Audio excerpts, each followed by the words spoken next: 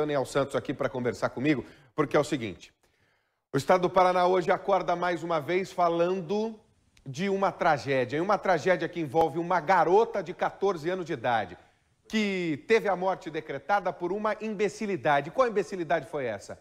Alguém simplesmente puxa a arma, atira a 60, 80 metros de distância, a bala atinge o vidro traseiro e do vidro traseiro acaba pegando na garota, na cabeça dela e matando a menina Isabelle, que tinha um futuro lindo pela frente, mas que esse futuro foi cessado, foi destruído e a família junto por conta de alguém que se acha no direito de poder atirar no trânsito, como se fosse delegado, juiz, promotor ali mesmo, sentenciando essa garota à morte.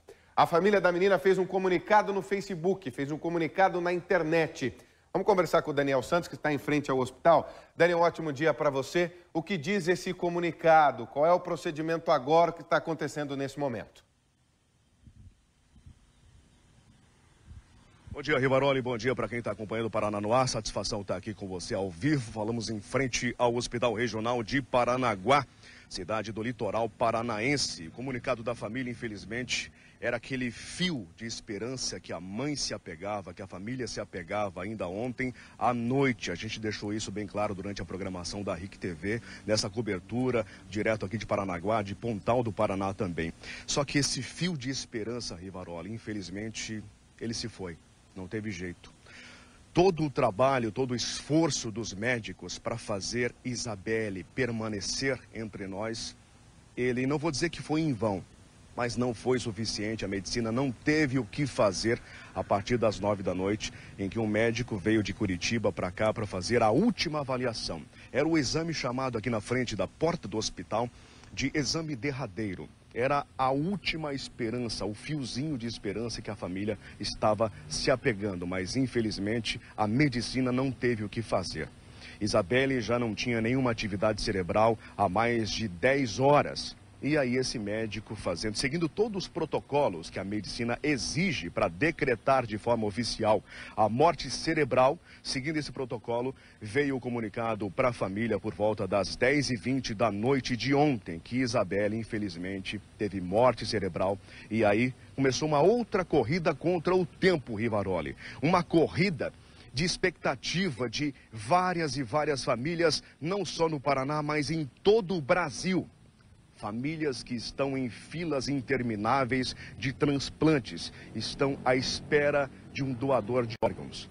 Pois a família, seguindo um pedido já da Isabela, que tinha deixado isso bem claro para os pais, para todos os familiares, seus amigos mais próximos, que ela queria sim ser uma doadora de órgãos. Deixando isso bem claro, a família fez isso de coração aberto.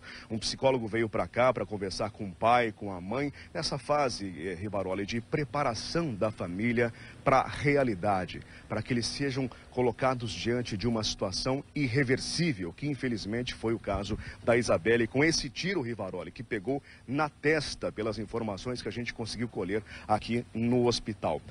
A boa notícia, se é que a gente pode falar diante de um momento de tristeza, de perda de uma garota de 14 anos, de uma família que nesse momento está sofrendo o luto, porque agora a Isabelle não está mais entre nós, mas o coração dela, Guilherme Rivaroli, continua batendo muito forte. Eu ouvi isso aqui no hospital. Pulmões, rins, fígado, córneas, pele, tecido da camada interna do crânio, até isso, ela tem condições de doar, vai ter condições de doar. São pelo menos 12 a 13 pessoas em todo o país que vão poder receber um órgão da Isabelle, que infelizmente não resistiu a esse único disparo criminoso, um disparo que acertou a testa dessa menina. Nesse momento, atrás de mim, aqui eu não posso mostrar, mas ele é motorista da Central de Transplantes do Estado do Paraná, está aqui acompanhando o médico. O fígado vai para qual hospital mesmo, por favor? No Hospital Nossa Senhora das Graças, é isso? O Hospital Nossa Senhora das Graças já tem um médico aqui e é assim, Rivaroli, daqui a pouco vai descer um avião aqui em Paranaguá para vir buscar o coração da Isabelle e isso deve acontecer aí até as 9 horas da manhã. A liberação do corpo, de acordo com as informações que a gente colheu aqui no hospital, deve ocorrer por volta das 10, 10 e meia da manhã, Rivaroli. Dani, valeu, obrigado pelas suas informações. Daniel Santos conversando com a gente direto da cidade de Paranaguá, em frente ao Hospital Regional, onde foram vividos esses momentos de absoluta aflição e torcida para que essa garota pudesse se recuperar, mas isso não aconteceu.